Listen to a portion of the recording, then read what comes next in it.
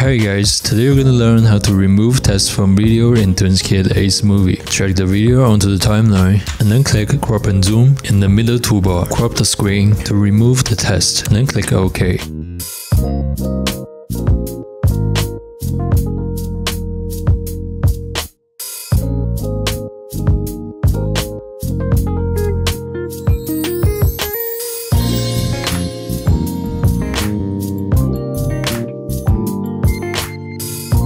The second method, go to the regional effects, check the blur effects above the video track, and then adjust the size and the position of the blur effects to cover the text.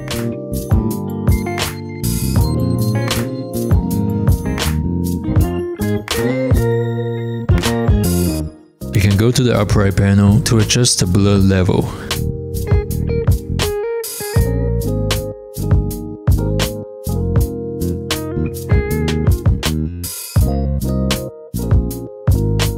Last method, cover the test with your own test. Go to the test and choose a test preset, and then drag it onto the timeline, and then adjust the test in the preview window to cover the original one. You can edit the new test on the top right panel.